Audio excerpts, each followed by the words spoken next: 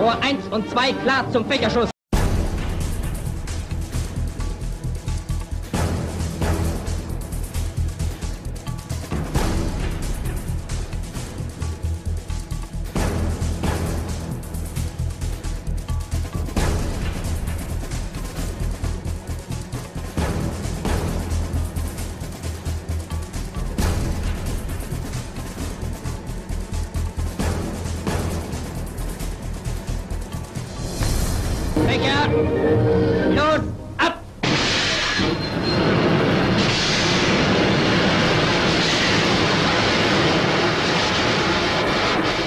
Torpedos laufen. Ob sie treffen werden?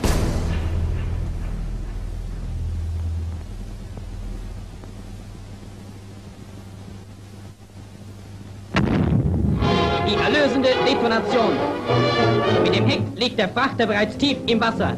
Robert Karl Friedrich Gysi wurde am 4. Januar 1919 in Charlottenburg geboren. Er war ein deutscher Offizier der Reichsmarine und der Kriegsmarine, zuletzt Korvettenkapitän, Kommandant des deutschen U-Bootes U-98 vom Typ 7C und U-177 vom Typ 9D2.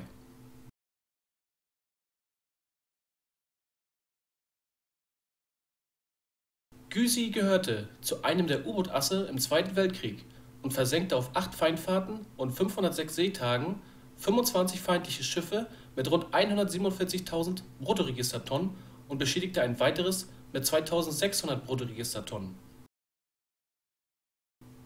Robert Gysi trat am 8. April 1931 in die Reichsmarine ein.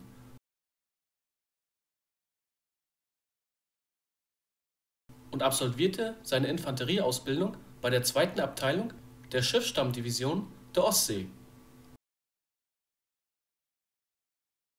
Am 30. Juni 1931 kam er zur Bordausbildung auf dem Segelschulschiff Niobe und am 17. Oktober 1931 auf den leichten Kreuzer Karlsruhe. Hier wurde er am 1. April 1932 zum Seekadetten und am 1. Januar 1933 zum Fähnrich zur See befördert. Ab dem 5. Januar 1933 absolvierte er die Lehrgänge für Fähnriche, unter anderem den Hauptlehrgang für Fähnriche, den Artillerielehrgang und den Nachrichtenlehrgang. Nach deren Abschluss wurde er am 2. Oktober 1934 auf das Linienschiff Hessen und ab dem 12. November auf das Panzerschiff Admiral Scheer versetzt. Am 1. Januar 1935 folgte die Beförderung zum Oberfähnrich zur See. Und am 1. April zum Leutnant zur See.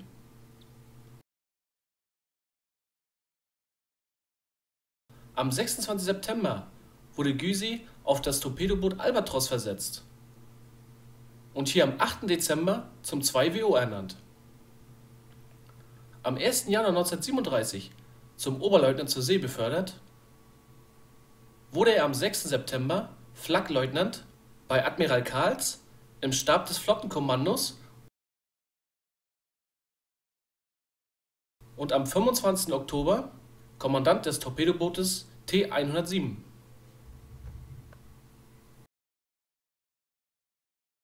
Am 25. Oktober 1939 wurde Gysi Chef der Torpedobootsschulflottille und am 1. Oktober 1939 zum Kapitänleutnant befördert.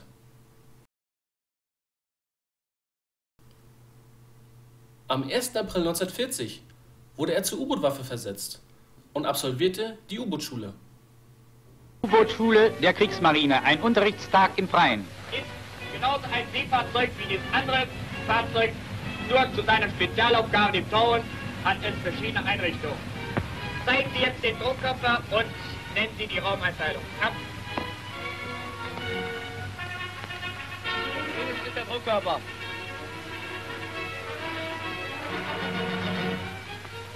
Wir teilen uns den Druckkörper ein in den Torpedoraum. Den vorderen Mannschaftswohnraum, in die Zentrale und in den Maschinenraum.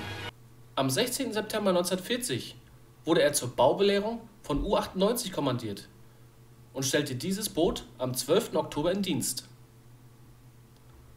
Erstaunlich ist, dass Robert Gysi seine Karriere direkt als U-Boot-Kommandant begann, ohne auf anderen Booten als 1WO oder Kommandantenschüler zu dienen.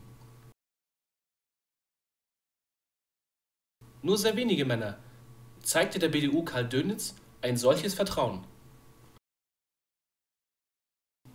Nach sechs Feinfahrten mit U-98, 194 Tagen auf See, konnte Gysi elf Schiffe mit rund 59.400 Bruttoregistertonnen feindlichen Schiffsraumes versenken.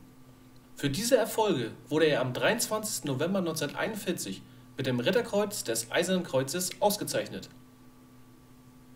Danach gab Gysi das Kommando über U-98 ab, um am 24. März 1942 Kommandant von U-177 vom Typ 9D2 zu werden Vom 17. September 1942 bis zum 22. Januar 1943 absolvierte er seine erste Feindfahrt mit U-177 und versenkte dabei acht Schiffe mit rund 49.500 Bruttoregistertonnen. Außerdem beschädigte er ein weiteres Schiff mit rund 2.600 Bruttoregistertonnen. Seine folgende achte und letzte Feindfahrt fuhr Gysi am 1. April bis zum 1. Oktober 1943 Dabei konnte er nochmal mit U-177 sechs Schiffe mit rund 38.000 Bruttoregistertonnen versenken. Von dieser letzten Feindfahrt stammen auch die folgenden Originalaufnahmen. Der Kriegsberichter, der diesen Filmbericht von der Feindfahrt im Indischen Ozean mitgebracht hat.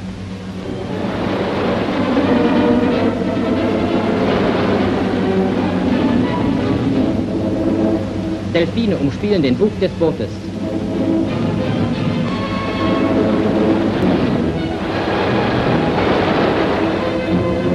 Die Einwirkungen des Seewassers machen zumal in tropischen Gewässern eine besondere Pflege der Geschütze notwendig.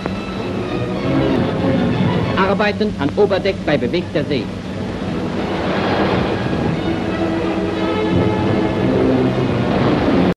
Eichenlaubträger Korvettenkapitän Güsey auf Feindfahrt im Indischen Ozean. Diese Aufnahmen sind die Fortsetzung unseres vor einigen Wochen gegebenen Berichts. Während der monatelangen sturmreichen Fahrt um das Kap der Guten Hoffnung sind Überholungsarbeiten unter und über Wasser erforderlich. Der erste Wachoffizier legt Tauchgerät, Bleigürtel und Bleisandalen an, um bei gestoppten Maschinen das Tiefenruder zu prüfen.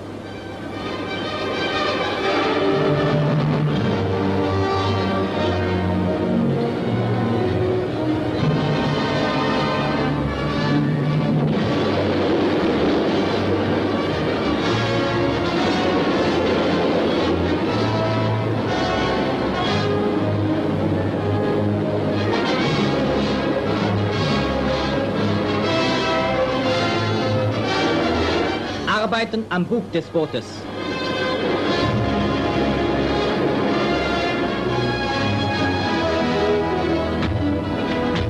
Die Arbeiten in der engen Schutzverkleidung des Vorschiffes werden durch die unruhige See erschwert.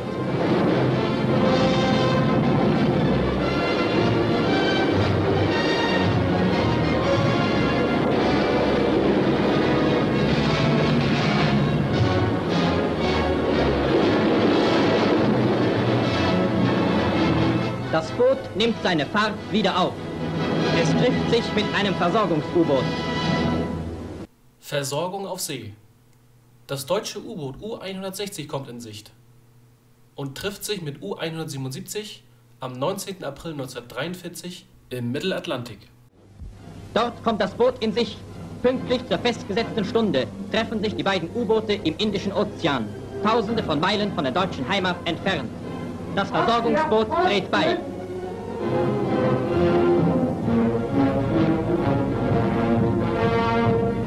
Die Schläuche für die Ölübernahme werden angeschlossen.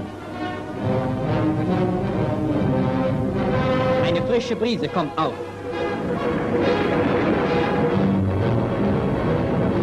Bei hochgehender Dünung wird Proviant übernommen.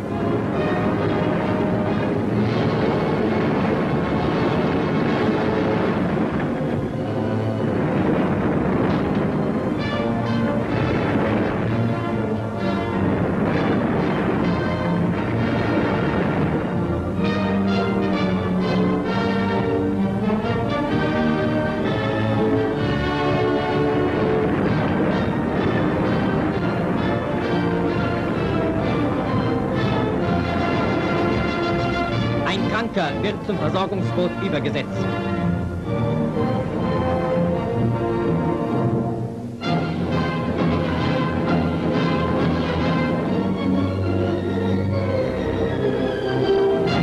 Die Ölanschlüsse werden gelöst.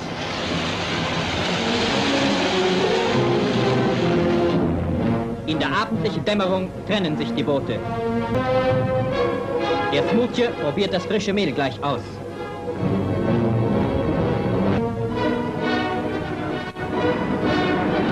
Mit neuen Vorräten geht die Feindfahrt weiter.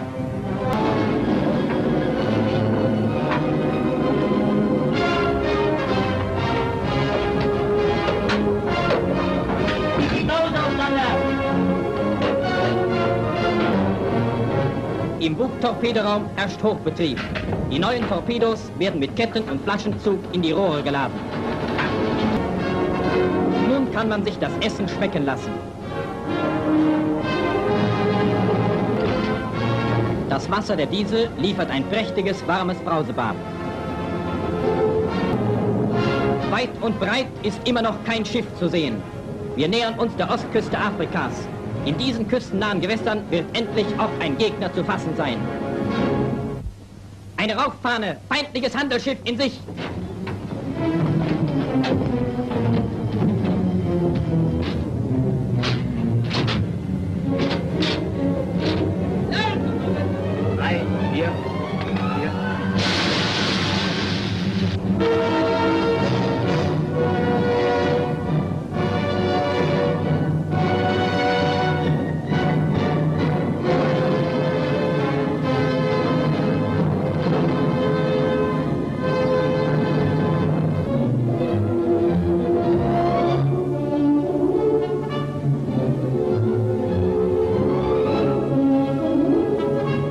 Kommt an das Seerohr.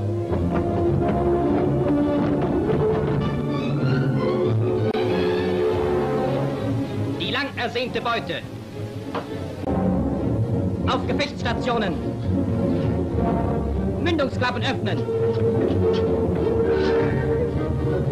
Korvettenkapitän Güse legt die Schusswerte fest.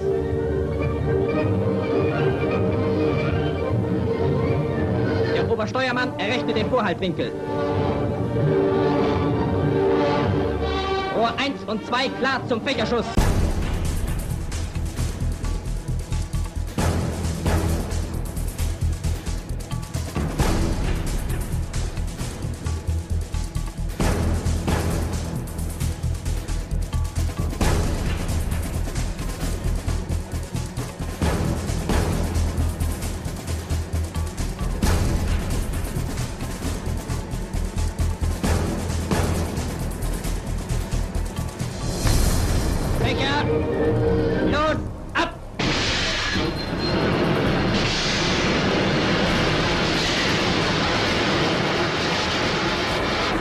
Torpedos laufen. Ob sie treffen werden?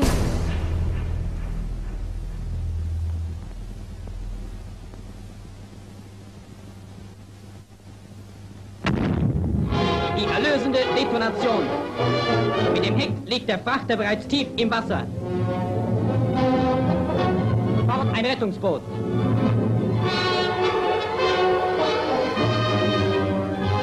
Die Vergrößerung des Seerohrs bringt den untergehenden Frachter ganz dicht ins Blickfeld.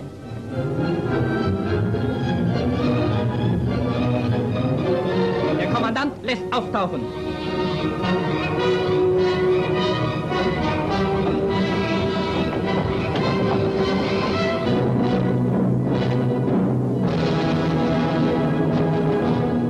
Der feindliche Dampfer sinkt in die Tiefe.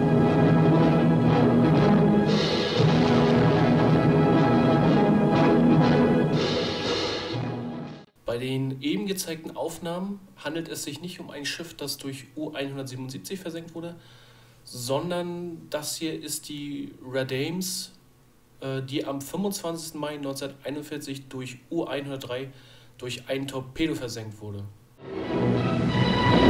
Ununterbrochen sucht die Brückenwache die Kim ab. Eine Rauchfahne wird ostwärts von Afrika unter der Küste von Madagaskar gesichtet. Der Wachoffizier ruft, Kommandant auf die Brücke.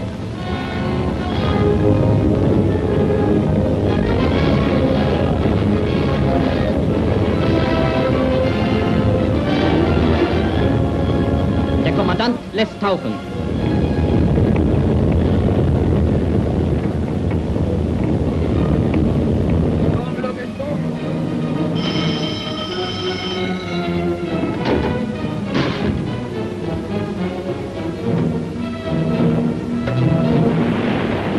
Seerohr die Küste von Madagaskar.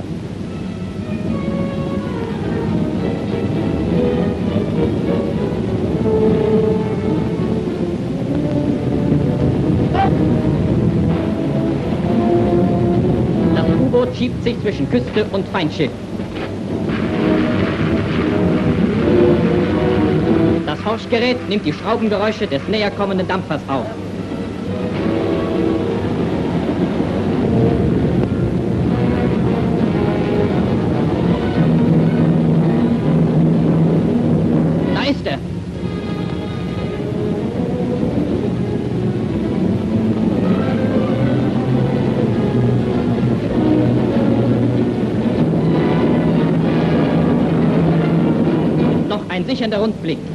Kommandant entschließt sich, den Dampfer durch Artilleriebeschuss zu versenken.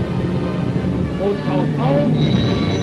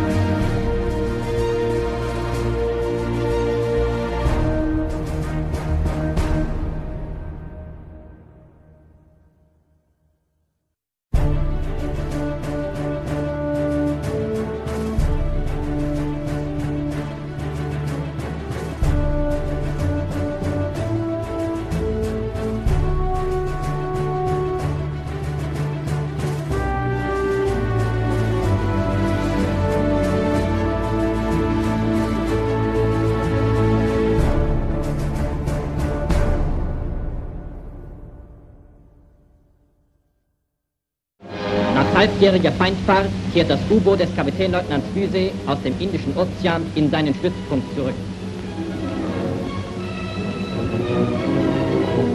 Der Kommandant wurde vom Führer mit dem Eichenlaub zum Ritterkreuz ausgezeichnet. Er versenkte 27 Schiffe mit 188.000 Bruttoregistertonnen. Am 31. Mai 1943 wurde er für diesen Erfolg mit dem Eichenlaub zum Ritterkreuz des Eisernen Kreuzes ausgezeichnet. Außerdem wurde er am 1. Juli 1943 zum Korvettenkapitän befördert. Nach dieser Feindfahrt wurde er am 17. Oktober 1943 zur 12. U-Boot-Flottille versetzt. Dann bekam er eine Einladung nach Rastenburg. Am 25. Oktober 1943 werden vier Korvettenkapitäne der U-Boot-Waffe ins Führerhauptquartier Wolfschanze zu Adolf Hitler bestellt. Die Korvettenkapitäne Wolfgang Glüth, Erich Topp, Reinhard Suren und Robert Gysi werden von Konteradmiral Hans-Erich Voss zu Hitler geleitet.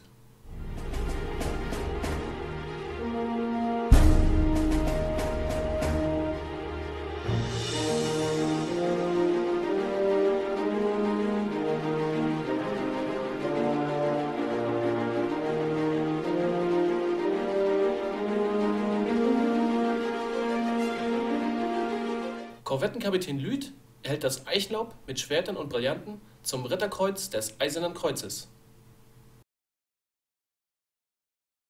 Korvettenkapitän Gysi erhält das Eichenlaub. Die Korvettenkapitäne Topp und Suren, die die Schwerter erhielten, überreicht Hitler die Urkunden ihrer Auszeichnung.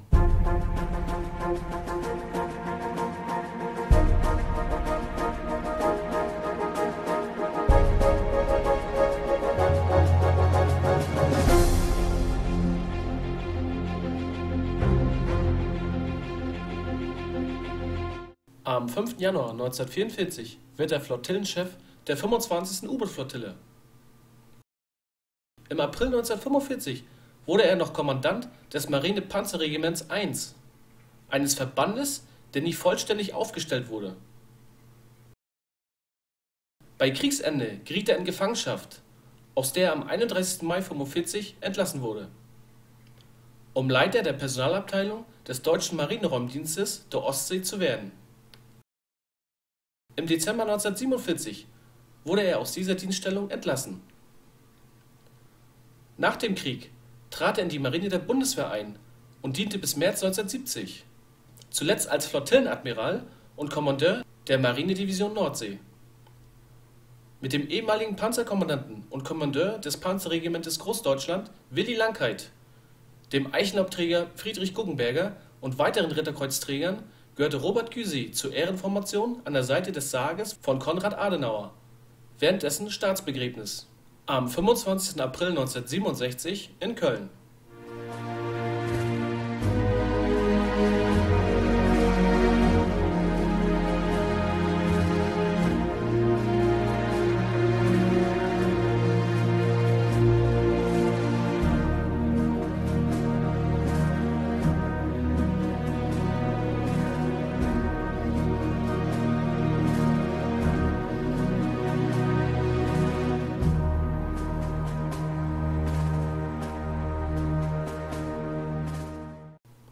Robert Gysi verstarb am 26. April 1989 in Wilhelmshaven